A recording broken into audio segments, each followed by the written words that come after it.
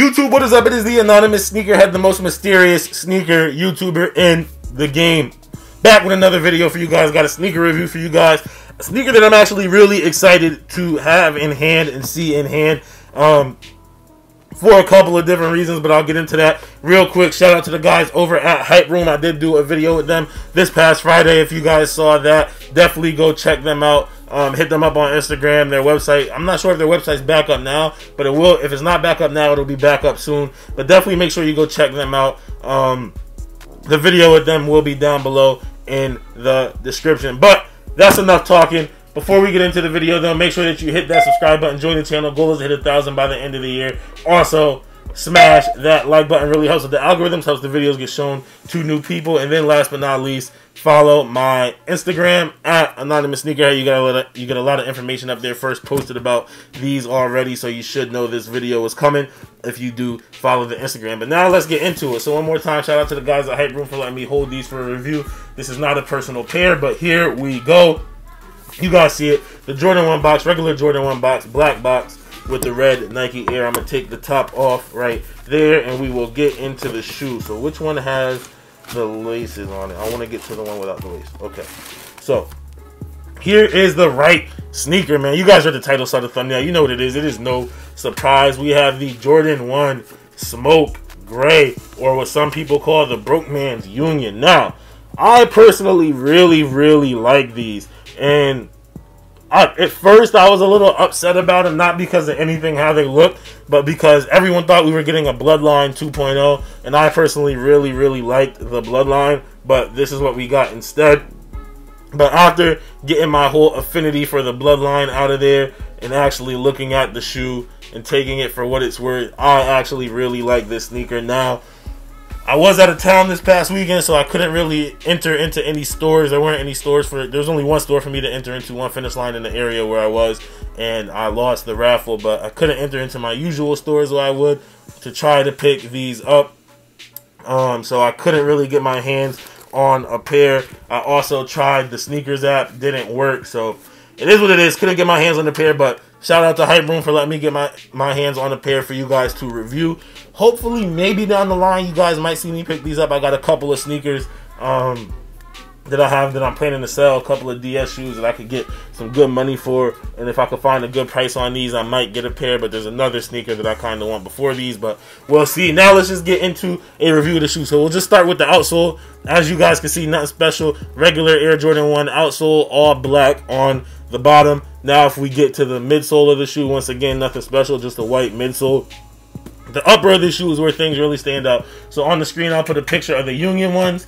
So you guys can kind of see why people are calling these the Union ones because you have, it looks almost like it's two different shoes. You have the kind of like a smoke gray shoe at the bottom and then maybe like a Chicago up top. But when we get into the materials, that's what really puts this shoe over for me. So the suede on this shoe is actually really nice, really soft suede. Um, just really nice, really and the, the suede only hits on the gray and on the swoosh. So right here you do have your regular leather, nothing nothing at all special about this leather that you get on the medial or the the toe box of the shoe, just regular um, Jordan leather, which we know isn't the greatest leather, regular Jordan 1 leather, kind of like what you got on your court purples or the royal toes that came out this year, exact same type of leather there. But the suede, once again, on the gray and on the swoosh actually feels really, really nice. Really nice in hand. I'm actually surprised how good it feels in hand. Um, the more that I hold this shoe, the more upset I am that I wasn't able to get my pair of them.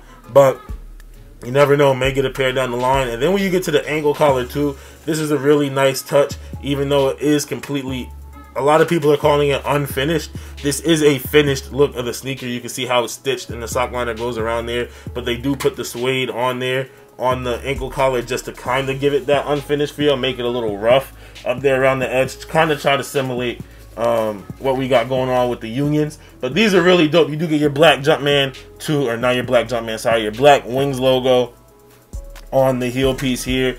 And you do get, sorry, not on the heel, on the ankle piece here with the red leather. So this is the only part of the shoe that is leather other than the white right here. We also have, finally, um, I can't remember the last time this happened in 2020, but on the tongue tag here, we do have your regular nylon Nike Air with all of the writing on the back versus the leather tab that we've been getting this year, like we got on the pine greens, we got the leather tab on the court purples, we got the leather tag on the royal toes. Um, that's just what we've got accustomed to getting this year was the leather tag on the one, but now we have like I said, a nylon tag like usual. So I know a lot of people are gonna like that because not everybody liked the leather tag. I personally did like the leather, or do like the leather. I shouldn't say did, but it is what it is. Now these are a size. What size are these? These are a size 8. So if you guys do need a size 8, make sure you go ahead and head over to Hype Room. Head over to their Instagram um, at Hype Room or at Hype underscore Room CT. Hit them up. Tell them I sent you. I know they have these. They also have when I was in there to pick these up, I think they had three or four other pairs. They have a bunch of sizes of these, and I know they have more of them just coming in. So definitely go hit them up for a pair. Now, I do want to get into the left shoe just really quick because on the left shoe we do have an extra set of laces. We have an extra set of white laces. Not sure how they'll look in this shoe. I think the black lace is the best lace for this sneaker. Maybe a red lace would be alright, or maybe a gray lace. Not sure how the white one would look, but if any of you guys that have them, if you did lace them up with the white lace, let me know how you think about it. But Really, really dope shoe in hand. Actually, really good quality. Really surprised me the quality of the suede. Like I said, the leather quality is regular. It's kind of weird to have such a contrast in just regular Jordan 1 leather quality, but then a really good suede on top of it. Um, as well as around on the heel collar there. And then you do, once again, I did say we had the nylon tongue. Really do like these. The poor man's unions, the smoke gray ones, the bloodline 2.0s, rest in peace, whatever you want to call them. Thank you guys again for letting me hold these for the review, man. Um, man, uh, hey guys, don't be surprised if I end up with a pair of these. I really like these in the hand. If this was a size 12, I'd probably, instead of giving them back, I'd probably just show up there with cash and be like, yo, I'm keeping these. But, uh, yeah, guys, that is it for this video. The Jordan 1 Smoke Gray let me know what you guys think about these. Did you hit? Did you get a pair? Did you get more than one pair? Do you have a size 12 that you want to throw your boy a lob for? You don't got to hit me over the head too hard with them. But that is it for this one, man. I am the Anonymous Sneakerhead. Make sure that you hit that subscribe button if you haven't already to join the channel. The goal is to hit a thousand by the end of the year.